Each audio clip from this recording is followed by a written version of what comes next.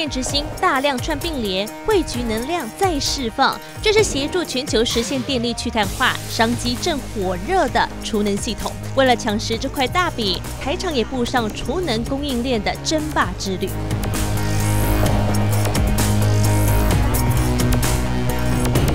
厚度不到七公分，能直接挂在墙上，表面又能彩绘图样的储能墙，单片储能容量为四千瓦小时，号称目前市面上最薄的储能设备。储能墙像是个放大版的充电电池，跟一般电动车充电站相比，轻薄外形较不占空间，而且使用一般市电两百二十伏特即可充电。国内锂电池模组供应商想以此优势来抢市，而当中的核心关键技术之一在于走线安排，要让电力能平均且稳定的流动。它就是要把能量储存到每个电芯上面，所以电流的。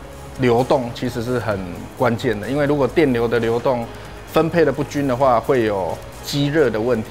电力在流动的过程中，其实在线上面会有线损，会有损耗，所以尽可能的让大家走最短的距离到用电的地方。过度积热可能造成短板，会降低使用寿命，增加安全问题。但想让四百多颗电芯大军好好听话。统一口令，充放电也不简单，而这个关键角色得由这片轻薄电路板来扮演。我们电池模组，呃，都会称呼这个叫 BMS 电池管理系统。那它就很像电池模组里面的大脑，由它来分配所有的充放电。电池管理系统同时会控制电压、温度跟电流，但要让电芯能力发挥到极致的前提是，必须事先将能力有落差的伙伴给剔除。锂电池排队进入电芯分选机，在空中翻转一圈，溜下滑梯的那瞬间，就完成能力分班试验。那它会透过它的内组跟它的电压来做分选。那最主要就是把相同特性的电池放在同个模组里面，而不只要一等级选配锂电池，也要让他们适才适所。这个就是所谓的锂三元。那锂三元就是呃镍钴铝。那理论上这个用在交通工具比较多。哦，就是快充快放，对，那这个就是锂铁电池，那这个用在储能墙上面，它锂铁的特性就是。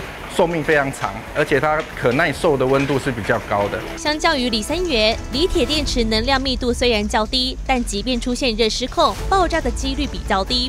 而使用锂铁电池制作的储能墙，在各界都期许电池应用能更久、更便利、更稳定，以及能源及空间有限的状态下应运而生。我们也可以并联，然后一片四度电，我并十片就变成四十度电。就会足够给一个场域来做调度跟使用。刚刚提到的哦，光加除啊，甚至是除加充啊，就是充到电动车上面去。全球电力缺口持续扩大，台湾也面临缺电转型关卡，在在都让储能需求成长速度加快。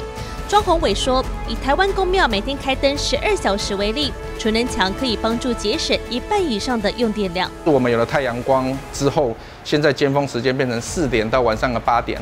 啊，所以它能量转移了，电力转移了。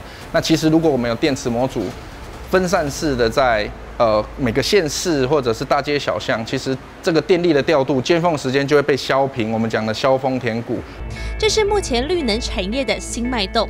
而口中不断输出电池相关知识、身材高大的庄宏伟，就是这片储能天地的董事长。有时候我就像教练一样会要求他们，有时候我自己又是球员，啊自己上场。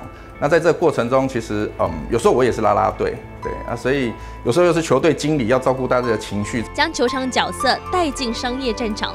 他高中城市篮球体保生，跟台湾飞人陈信安是同学，后来选择更擅长的职涯赛道电子业，中途还一度跨界服饰业。但事业跟球赛一样，成绩偶尔起伏。他一度创业失败，陷入低潮。在电子业，我就跳到了服饰，因为我想说，我可以做一些创新，在网络上做一些服务，然后甚至到线下去做一些体验。后来发现这个市场，呃，第一个你要花很大量的时间去教育市场这个这样子的商业模式，然后同时其实你的呃资源也有限。对，那其实我学到的就是。呃，我必须要看清楚我自己的定位。他决定回归电子业，投入应用广泛的锂电池产业。他深知，面对被 AI 旋风席卷的时代，有电力才有算力，尤其是各项产业永续成长的燃料绿电，具备庞大商机。其实很多东西有转电，然后包含电动车也是载具也是电动化。那我们台湾更熟悉的就半导体哈，一场一场的盖。对，我们知道半导体的用电也是，呃。也是，就等于是电厂级的在用电了。那最后就是最近很夯的 AI 的算力。对那些更更多的用电，国内锂电池模组供应商积极抢进储能产业，因为国际知名科技咨询顾问公司预计，二零三五年锂电池市场规模将超过四千亿美元，而且需求渴望持续成长。像电动车整个底盘都是电池，或者货柜里面都塞满电池，所以只要在跟储能、跟交通工具有关的。它的使用量都会远大于现在所使用的。台场摩拳擦掌，已经驶进储能产业新赛道，而且还在猛踩油门，准备大啖市场商机。这场台湾绿能科技革命正在展开。